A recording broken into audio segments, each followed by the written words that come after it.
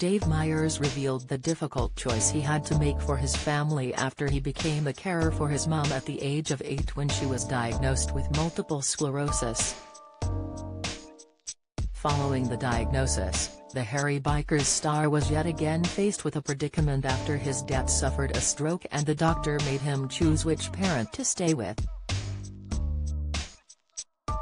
Dave joined Kaye Adams on her How to Be 60 podcast to discuss his parents' illnesses and how he approached being a carer while he was just a kid. The TV star admitted he was faced with a cruel decision at a young age. He recounted, When my dad had the stroke, I always remember that the doctor came around and said, well, one of them can go to hospital. Which one of you do you think can look after? And this was about a few months before my A-levels and I knew my mom wouldn't get better, my dad would. So, I said, it'll have to be my mom, really. And that's quite hard for a kid. And I do resent that now, I still resent that. I think that was really clumsy and cruel. It could have been better, with a bit more kindness. The TV chef was diagnosed with cancer last May and is still undergoing treatment. But the debilitating therapy has left him with nerve damage and affected his mobility and balance. Dave also revealed grueling chemo left him unable to walk or ride his trademark motorcycle. He said, I was driving down to France. I'd had the scan that morning and had a phone call on the motorway in France at half past 8 at night and they told me I'd got cancer.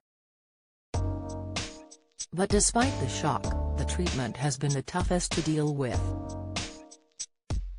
Don't miss. Jeremy Clarkson slams Tory BBC debate after Kate and Will's poster row, latest Denise Van Outen opens up about strange relationship with ex-husband, Insight Elton John joins growing list of celebs to snub Harry and Meghan, news, Dave added, chemotherapy doesn't half-age you quickly, because your balance goes, so for someone with a motorbike that's a disaster and my walking's been affected quite a lot. Elsewhere in the candid conversation, Dave said despite his treatment, he is looking forward to filming a new Hairy Bikers series in May with pal and co-host Si King, 56. Dave added, We're going to film around the chemo. I'm feeling okay and I'm going back to work, which is important to me because I have this relationship with C going back 30 years. We're like brothers. He is also about to take delivery of a new motorbike, though he needs physiotherapy to help him ride it. Dave said, they sit me on a Pilates ball and rock me from side to side, pretending I'm on a motorbike. I'm changing gear and braking and making motorbike noises.